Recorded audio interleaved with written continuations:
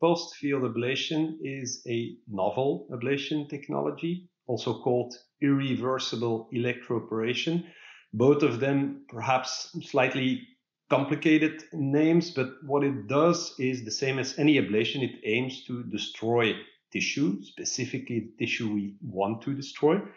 But in contrast to everything else we have today, today we destroy tissue by either heating or freezing it. And this means these are thermal effects, and this means there's also what is called collateral damage. The tissue around it is going to be affected as well. Pulsed field ablation is an electrical shock or an electrical field, that's why the, where the name comes from, that is applied over the cells, makes the cell membranes leak, thereby making the cell, the target cell, die, but it does not heat the tissue, at least not significantly. So it's called non-thermal ablation. The end result, the net result, is that we can achieve something quite revolutionary, which is we can perform tissue specific ablation. We can select which tissue we want to destroy without impacting any of the surrounding tissue. The safety and efficacy of any treatment modality is obviously the, the are the two key questions and the two sides of a coin that need answering for any technology. And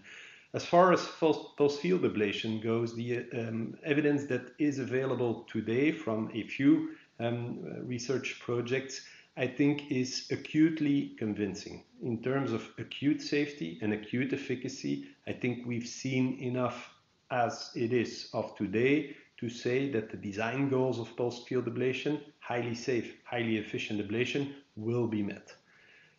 Long-term outcome, obviously follow-up is still ongoing. It's hard for me to imagine that there will be long-term unforeseen safety consequences, so I'm confident without having proof I'm confident that the long-term safety will be maintained.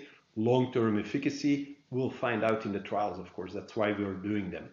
The INSPIRE trial um, has as its goal um, to demonstrate the feasibility, safety, and efficacy of this new approach, pulsed field ablation, for which, in acute terms, we have observed and presented that indeed the acute success rate was excellent. We achieved 100% clinical success in our cases, and the acute safety was equally excellent. We did not observe one single of the primary adverse events that we studied that you might expect with our ablation technology. So acutely, the results are as good as they could possibly be.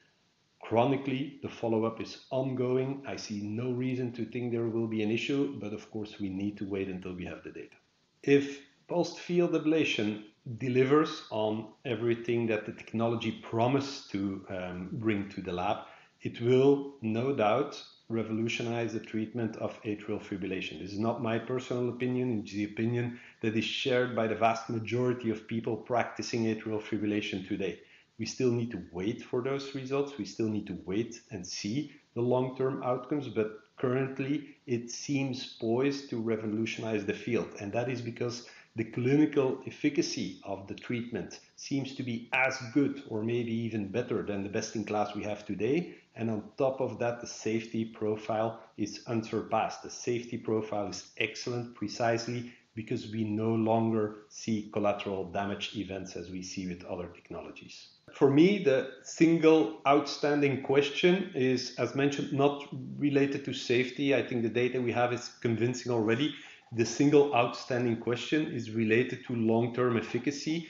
Will the technology and will the lesions we are creating, will they hold over time? Question number one, are these lesions going to be durable? Early evidence seems to indicate yes, but we'll need more.